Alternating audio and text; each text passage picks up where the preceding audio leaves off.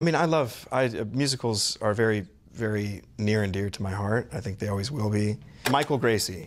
I think Michael Gracey and Hugh, they're in, they're incredibly special people. I think that Michael is such a visionary. I can admit that when at the time that he came to me and sort of pitched this film to me, a musical was probably not the first thing I was um, looking for at the time. Then he sort of played me the music and talked me through his vision, and it was one of the most ambitious, um, but also well thought out explanations of a story that, that I've ever experienced. This is, it's, it's kind of similar to working with Sean Durkin on the Iron Claw. It was very clear that Michael Gracey had this in his dreams, and he was going to bring to life a very vivid dream that meant something very special to him and was not one to compromise. So if you're going to make a musical, you better make it damn good.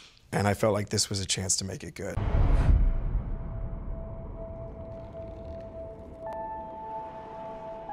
The way that he revealed Zendaya's character, that was such a cool thing. And bless her heart, she really did that every time. She like flew from across the room on a trapeze and then like went into her close up like a lot.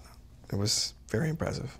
I mean, Zen's the best. She's just, she's great. She's down for anything. Um, she's super brave. I've got so much respect for Zan. I, I, hope we get to do something again in the future. She's the best.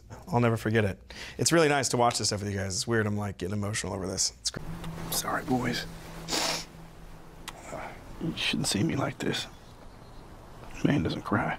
Sean Durkin, the director of this movie, was had a very carefully drawn out plan for the execution of this film, and of course, on purpose, put this scene probably very, very much last up in the film, and I think it was for good reason. Kevin Von Erich was, was never meant to be seen crying because the family was not allowed to show weakness. And I thought that was a really fantastic note from Sean and a brilliant kind of thing to guide me through the movie. And, and there were a lot of scenes, I think, earlier in the film that warranted tears. I wanted to cry a lot during this movie, and he was just say, no, hold it back, hold it back for the right moment.